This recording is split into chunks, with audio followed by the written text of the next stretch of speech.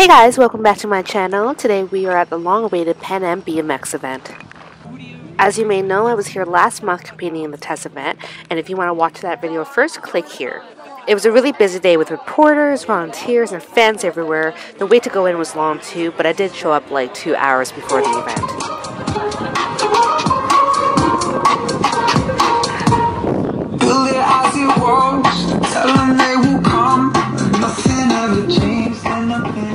So the bleachers that I'm walking up now were just added for the event today. We actually didn't have them during the test event.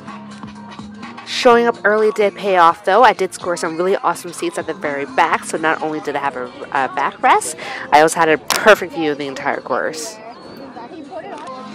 So food and drinks are not allowed into the venue, so I bought myself a $15 canteen, uh, but at least the water is free. Speaking of food though, I bought myself bacon poutine. But anyways, enjoy the rest of the video. I only have footage of the women's heats. Um, I mean, this is Magnolia BMX, so what are you expecting? but uh, anyways, yeah, super fun day. Definitely the most patriotic that I've ever been in my entire life. I was really proud that we brought home gold for men's BMX. And of course, it was my favorite rider, Tory Nyhaug, that actually got the gold. So anyways, guys, like this video, hit subscribe. I will see you guys next time.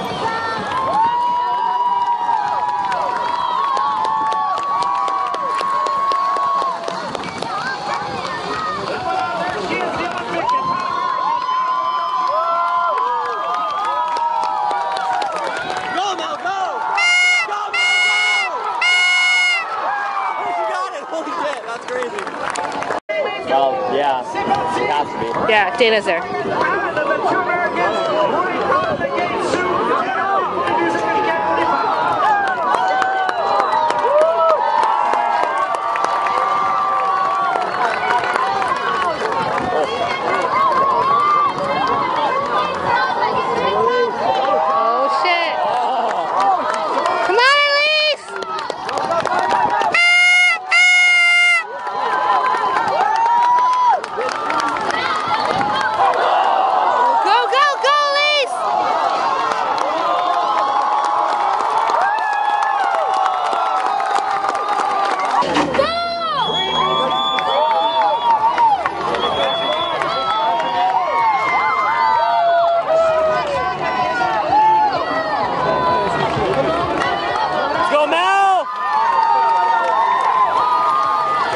inside. Go, now, go!